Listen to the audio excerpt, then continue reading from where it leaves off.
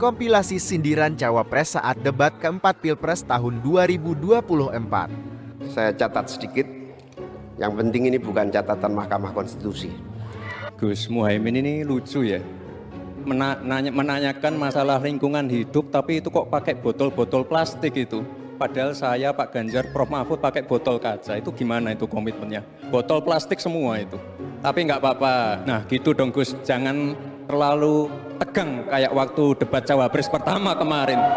Tapi nggak apa-apa, tapi nggak apa-apa, tapi nggak apa-apa. Terima kasih Pak Gibran, yang Anda sampaikan hanya mengulang apa yang saya sampaikan. Tapi nggak apa-apa.